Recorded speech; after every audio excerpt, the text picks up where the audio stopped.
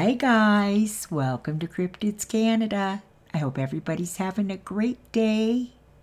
So, I don't know if I mentioned this or not, but I went and I had my DNA done, and I learned some pretty crazy things that I, I honestly had no clue.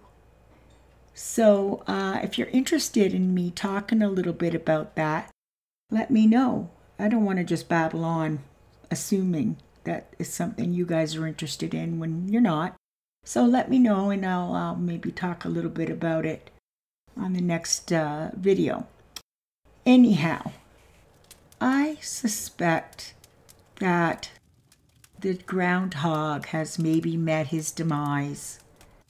Uh, do you remember I mentioned in yesterday's video that there was a little bit of a gut pile beside the opening. Well, then last night I went out there, of course, checking, and the gut pile was gone. Then I started thinking today, it's been about three days since I've seen the groundhog. I think I saw the groundhog the day before the skunk appeared on my deck and ate all the peanuts. So I could have my days mixed up a little bit, but literally went from watching this comical groundhog every single day and evening to really not seeing him for at least three days now. Pretty sure it's been about three days. So I feel kind of bad about that, but yeah, it's life, I guess. Those damn skunks. I didn't realize that skunks could be vicious, but I've been hearing a lot of uh, really negative stuff about them. That, uh, wow, interesting. Anyways, I've got a good story. Like I say every single time I go to read a story, they're all good in my opinion. Okay, so let's get to her. Hello, Cryptids Canada. So, my story or encounter goes back about 30 years ago. My sister, Frida, and her boyfriend, Dave, basically ran away from home because they were young and in love, but my parents were totally against Frida being with Dave. I was the older sister and had moved into my own apartment while going to college and working full time. Frida contacted me after quite some time and told me where her and Dave were living and that they would like me to come for a weekend. She trusted me not to tell, and that put me in a very tough position because my parents were just distraught. But I felt it was best to keep that secret in order to have contact with my sister. So at least our parents knew that she was okay. So I drove about six and a half hours north to a small cabin near Williams Lake. Dave was working and Frida was keeping the cabin like a small home. They had chickens and they had just bought two goats with the plan to breed goats and sell the kids for additional income. I really was quite impressed with all they had done in such a short time. Now, their cabin was down a long trail and it was in the deep woods. It had been a hunting cabin, but the owner of the property liked the idea of a monthly income, so he promised to help build a driveway.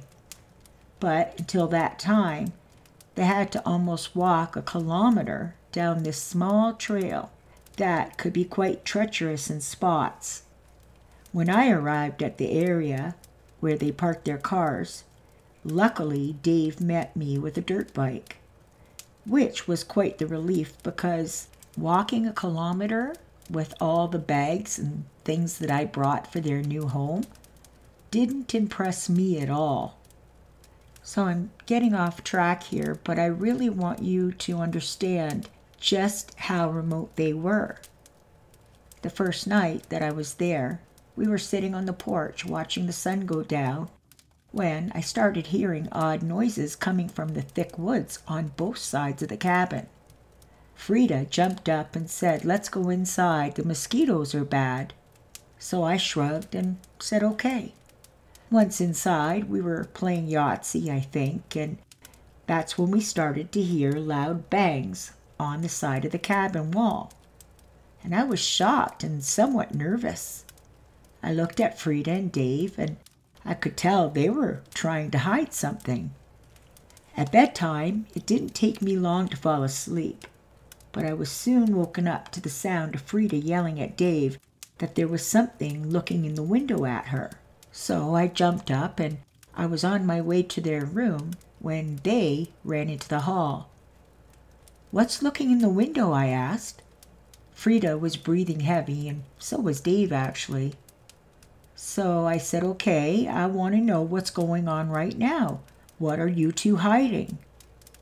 And that's when they said that there are Sasquatch beings that come around the cabin sometimes at night, and the landlord gave them a shotgun if things were to get out of hand.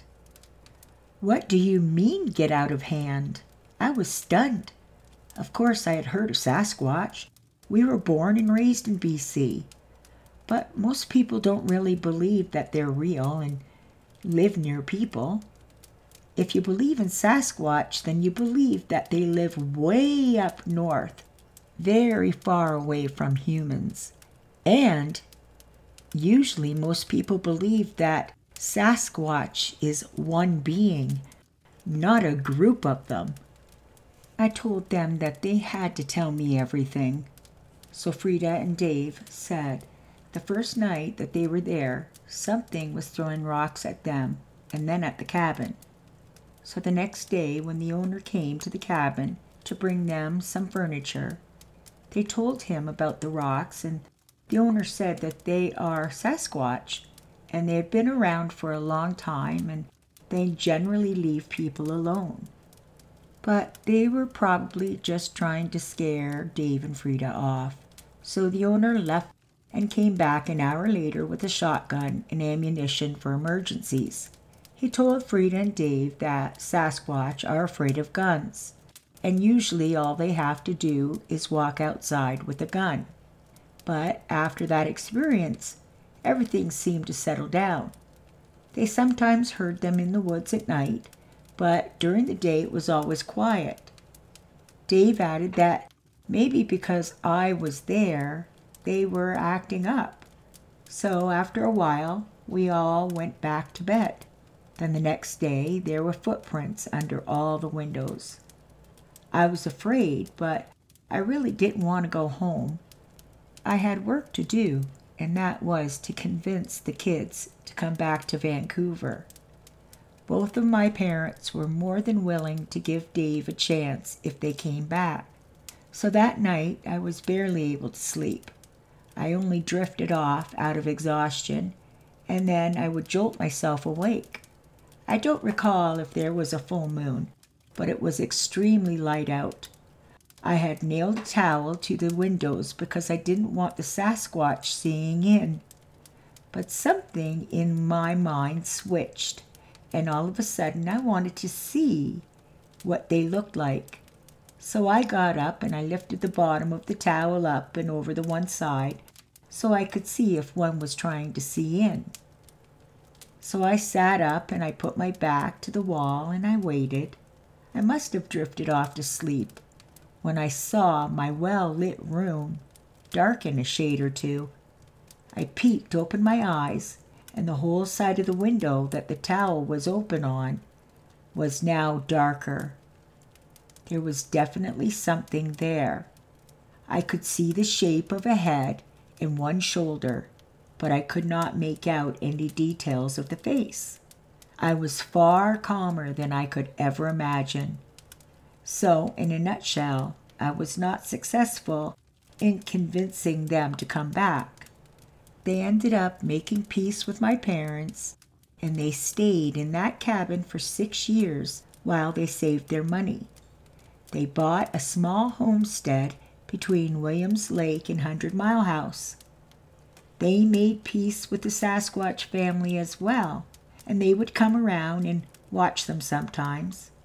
Frida made little dolls for the little girl she saw once from quite a far distance away, and Dave would bring home little toys that he would make on his break at the woodworking shop he worked at.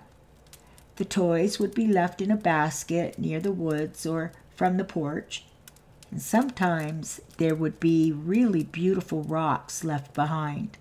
Frida says she still has those rocks. So, anyways, I'll say without a doubt that Bigfoot or Sasquatch are real and they aren't always violent. Just because we perceive their actions to be violent in nature, it doesn't make it so. I'm on the side that believes there's an awakening about to happen. They are wanting some sort of relationship like there used to be a hundred years ago.